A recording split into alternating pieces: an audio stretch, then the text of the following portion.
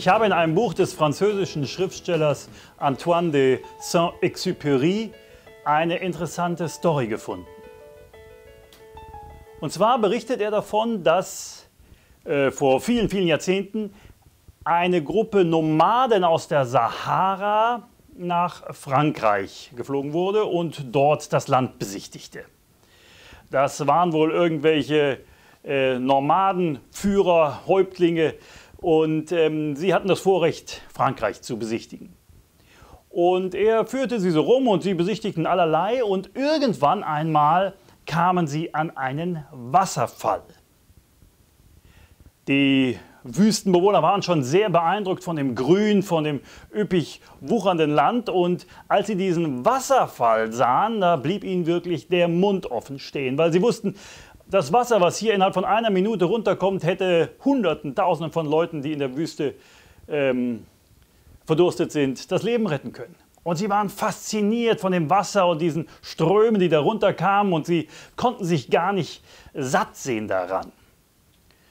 Und es dauerte und dauerte und dauerte und irgendwann wurde es ihm dann doch äh, zu langweilig und er dachte, ja, wollen wir mal gehen? Nein, nein, wir wollen noch nicht gehen, wir wollen noch bleiben. Und es zog sich hin und sie waren schier nicht von diesem Wasserfall wegzubringen. Und irgendwann sagt er, ja, warum wollt ihr denn immer noch hier bleiben? Da sagten sie, wir wollen warten, bis es aufhört.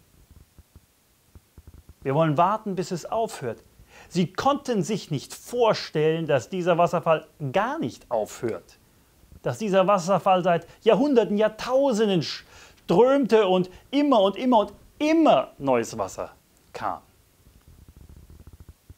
Es war etwas, was in ihrem beschränkten Denken, in ihrem Wüstendenken einfach nicht äh, existent war. Und das ist ein interessantes Bild für viele Christen. Wir limitieren den Heiligen Geist, der Ströme lebendigen Wassers ist. Wir denken, das ist nur so ein bisschen, das ist so eine gewisse Quantität, so eine gewisse Menge. Und wir machen uns nicht bewusst, es sind Ströme, die immer und immer und immer strömen, die nie ein Ende haben. Es ist der Heilige Geist. Der Heilige Geist ist nicht quantifizierbar, er ist immer in Fülle da.